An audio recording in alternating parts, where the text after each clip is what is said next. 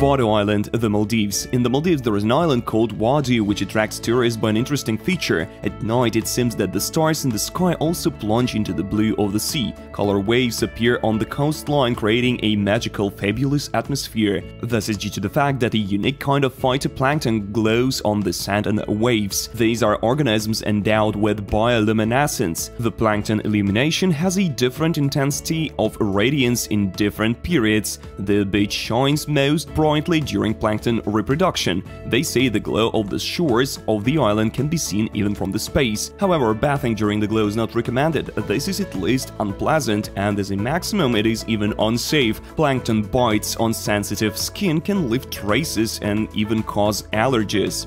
Torah Well, Oregon. At the edge of the Oregon coast is what appears to be a gaping funnel that looks like it never fills up, despite the continuous flow of water flowing into it. But the Torah Well, as is known, is not bottomless, however, it is very dangerous. This is how the well is described by the American travel online magazine Atlas Obscura. In addition to the gaping funnel, the Torah Well has other names, the drain pipe of the Pacific Ocean, and even the gateway to hell and the path to the unknown. And of course this place is known as the must-see for any photographer looking for thrills, but at the same time this place will swallow you whole if you get too close. The Torah Well is an inconspicuous depression with a diameter of no more than 5 meters of the surface of Cape Perpetua. This is a rocky shore washed by the waters of the Pacific Ocean, but an hour before high tide a whole natural show begins, the brightest of which occurs in a well during a storm or high tide and low tide. The water rushes into the depth of the funnel and then breaks out, it reaches up to 6 meters in height and then falls back into the well. Sometimes it just foams and flows into a bottomless vent dissolving into its infinity.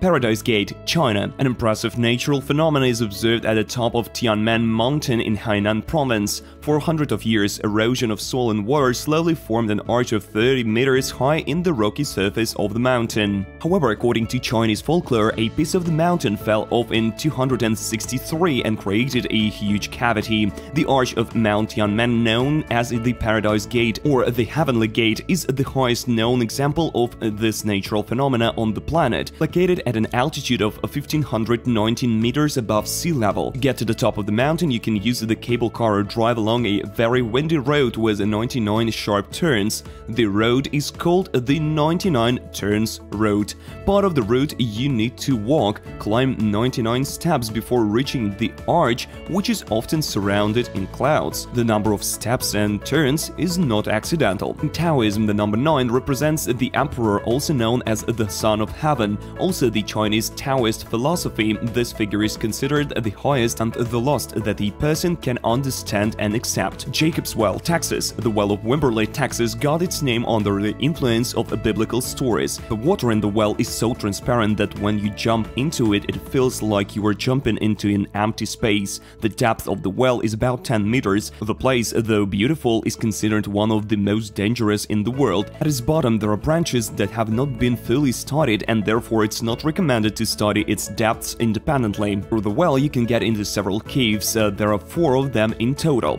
The upper one is the most visited, carries a minimum of danger, there is enough light here and there are algae and fishermen. The next cave goes deeper by more than 20 meters, you can get there only through a small entrance. It is harder to get to the third and fourth caves and they are more dangerous, you should not go there without special training. Unfortunately, attempts to study these caves did not always end well. Lake Louise, Canada. Located in Banff National Park, it is spread out at an altitude of 1646 meters and measures half a kilometer wide and almost 2 kilometers long. The lake was previously called Emerald due to its color. It has such a color because of the rock that was dissolved by glaciers and fell from the mountains into the lake. The current name it got after Louise, the daughter of the Queen of England, Victoria. The lake was discovered in 1882 when Tom Wilson, one of the specialists in the construction of the Canadian Pacific Railway, heard a noise in the distance. The Indian who was next to him at that moment explained that the noise was coming from a huge white mountain that towered over a lake with small fishermen. Wilson was interested in this place and he went there the next day where he found a lake which he later recalled. For a while we sat and were silent, unable to tear our eyes away from the brilliant beauty of the landscape that unfolded by the sparkling glacier. Now, the lake is popular among tourists also due to the large number of other small lakes nearby as well as waterfalls. There are hotels, campsites and tourist bases here. Lake Brace, Italy, a lake of the same incredible beauty as Louise is only closer in Italy at the foot of the majestic rock Grotta del Becco. It is located at an altitude of 1496 meters above sea level. Its depth is 36 meters. The history of its appearance is intertwined with myths and legends. Once upon a time, people lived in Brace Valley who guarded the mountain gold. One day, shepherds came to their territory who having discovered a large amount of gold began to envy and decided to get more valuable metal, which was presented by the locals. In order to save their treasures, the villagers excavated underground springs, as a result of which the valley was flooded, and the brilliance of the lake is nothing but the brilliance of gold. Canopy bridges, Borneo. The task of suspension bridges is to transport people from one end to the other, and there is quite famous one in the island of Borneo, which is owned by Indonesia, Brunei, and Malaysia. Canopy bridge performs not only its practical function but also aesthetic and it is a local landmark. There is also an observation deck in the park.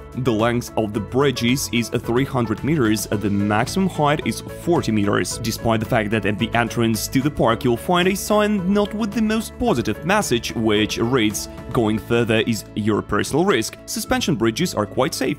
Waitomo Caves, New Zealand Firefly Caves are also located here, all of them are included in the list of 101 must-see attractions of New Zealand, and it occupies the 14th place there. Swimming under thousands of fireflies, it seems that you have found the starry sky in the cave. Once upon a time, the ocean dominated this place. Gradually, the water left and left bizarre limestone growths. Thanks to this, the caves were formed. According to some scientists, the fireflies in the cave glow from hunger, and the stronger this hunger, the the more they glow. Flathead Lake, the USA. This large freshwater lake is one of the cleanest lakes in the world and is located in Montana. The water is so clear that it seems as if the lake is shallow, but in fact its depths can reach 113 meters. The lake is popular among anglers, as trout and perch are always clearly visible here. Wild animals live on the territory of the lake, sheep and deer as well as bald eagle, which is a symbol of America. Of course you want to hear the legend about the name of the lake.